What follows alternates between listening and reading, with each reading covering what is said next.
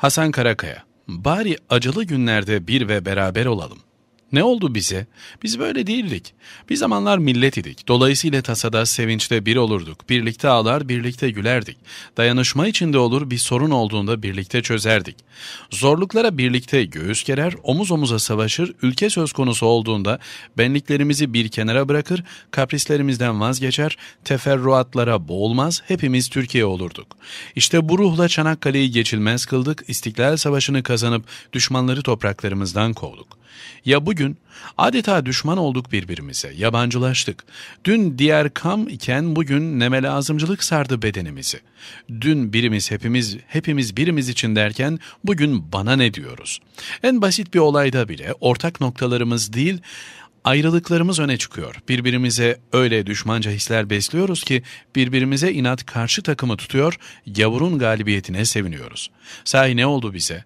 Ne oldu ki bir zamanlar ortak çarpan yüreklerimiz bugün paramparça? Biz bir millettik. Şimdi her birimiz illet olduk. Ne oluyor bize? Böyle nereye gidiyoruz? Acıdan rant çıkaranlar. İşte Ermenek'teki maden faciası, Mayıs ayındaki 301 işçimizi kaybettiğimiz Soma faciasından sonra bu defa Ermenek faciası ile karşı karşıyayız. Elbette Allah'tan ümit kesilmez ama umutlarımız azalıyor. Su patlaması sebebiyle 18 madencimiz yerin 350 metre altında ve su seviyesi de 50 metre civarında. Bütün çabalara rağmen boşaltma işlemi 1-2 gün sürebilir. Su patlaması işçilerimiz yemek yerken meydana gelmiş. Bazıları tehlikeyi görür görmez kendilerini yukarıya atmış ama 18 işçimiz sular altında daha doğrusu çamura gömülmüş. İnşallah sağ olarak kurtarılırlar ama her geçen dakika umudumuz azalıyor. İşçilerimiz yerin 350 metre altında belki de ölüm kalım savaşı verirken yerin üstündeki bizler ne yapıyorduk biliyor musunuz? Tek kelimeyle faciadan rant tevşirmeye çalışıyorduk. Onlar ölüm kalım savaşı verirken bizler Twitter savaşı veriyor, eski hesapları görüyor birbirimizi alt etmeye çalışıyorduk. Tweetler atıyorduk birbirimize. Bu facia 29 Ekim Cumhuriyet Bayramı kutlamalarını iptal ettirmek için tezgahlandı. Yuh artık.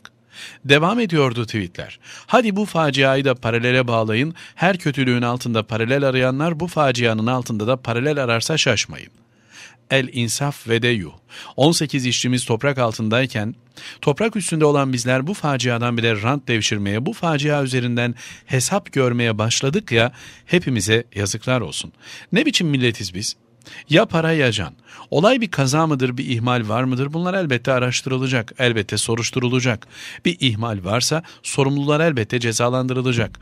Ama anlayabildiğim kadarıyla sadece para kazanmayı, sadece kar etmeyi düşünen vahşi kapitalizmin hırsı burada da kendini göstermiş.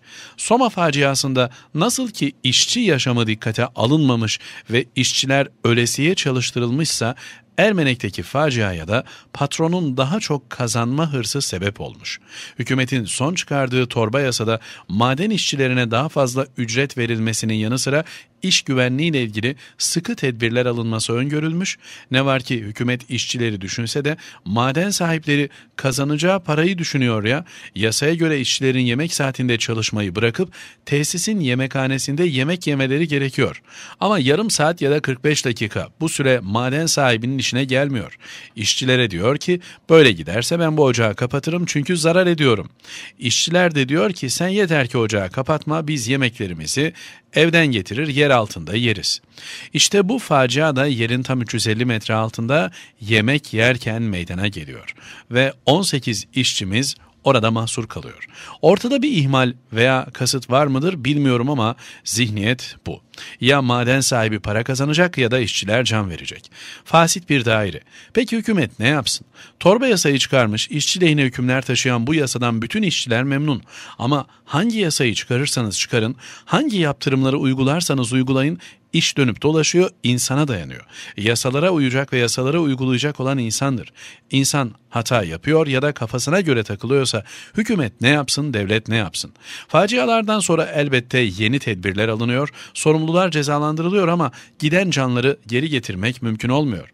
Ölen öldüğüyle kalıyor. İşte 18 işçimiz. Onları kaybettik ise yasaların da verilecek cezaların da ne önemi kalır? Keşke hiç olmazsa ders alabilsek ve bundan sonrasında bu tür acıların yaşanması olmasına engel olabilsek. Ama o da olmuyor. Onca kaza yaşadık, onca sel baskını gördük, onca deprem, yangın ve maden faciası yaşadık ve her defasında bundan sonra hiçbir şey eskisi gibi olmayacak diye yazılar yazıp nutuklar attık da ne oldu? Ders aldık mı? Tedbir aldık mı? Üç gün bağırdık çağırdık ama yine eski tas eski hamam. Yine analar ağlamaya yine ateş düştüğü yeri yakmaya devam etti. Acının dokunmadığı balık hafızalı insanlarsa olan biteni unutup hiçbir şey olmamış gibi yaşamaya devam ettiler. Bu mu insanlık? Bu mu vicdan? Bunlar insan olamaz. Hadi üç gün sonra unutacağız da. Bari acının taze ve sıcak olduğu anlar da olsun. Acılardan rant çıkarmaya çalışmasak. Şu hale bakın. Daha facia akşamında klavye militanları devreye girmiş ve tweetler atmaya başlamış. Cumhuriyet Bayramı kutlamalarını iptal etmeye bahaneleri olsun diye kendi elleriyle felaket hazırlıyor olabilirdi bunlar. Ben hiç yaz dolayısıyla iptal edilen Ramazan ya da Kurban Bayramı kutlaması görmedim. Anlatabildim sanırım. Şimdi yavaştan uzayın. Ermene katliamındaki yaz ayağına Cumhuriyet kutlamaları iptal edilmiş sanırım. Cumhuriyet kutlamaları tabii ki iptal. Ne sandınız? Her 19 Mayıs'ta her 29 Ekim'de bir maden faciası olacak ki iptal olsun. Sırf Cumhuriyet Bayramı kutlamalarını iptal etmek için madene su bassın diye emir vermiş olabilirler. Bunlardan beklenir. Bunlar Cumhuriyet Bayramı kutlamalarını iptal edebilsinler diye zavallı adamları boğmuş olmasınlar. Vallahi olur mu olur bir de böyle düşün.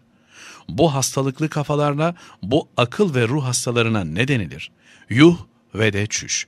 Ulan bir kuyruk acınız, görülecek bir hesabınız varsa bari bu günlerde susun. Bari bu günlerde insan olun, tatile çıkın, vicdanınız bari bu günlerde yüreğinize dönsün. Ha acılar hafifledikten sonra ne diyecekseniz deyin, ne halt yiyecekseniz yiyin. Ama hiç olmazsa bu günlerde susun. Hasan Karakaya, Yeni Akit